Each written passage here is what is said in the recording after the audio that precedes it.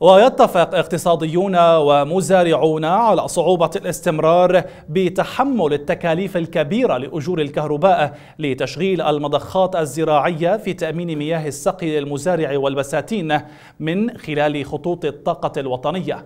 وفيما يتحدث النائب حسن مردان عن حراك برلماني لتقليل تعرفة استهلاك الكهرباء للمزارعين وفق مبدأ يضمن تخفيض التكلفة يطالب فلاحون بساعات مجانية في مواسم الزراعة والحصاد والتسويق لأن التسهيلات تعزز سلة العراق الغذائية. وتتفق الآراء على أن دعم الزراعة يعني توفير نشاط يستقطب حوالي 50% من الأيادي العاملة في كافة المحافظات.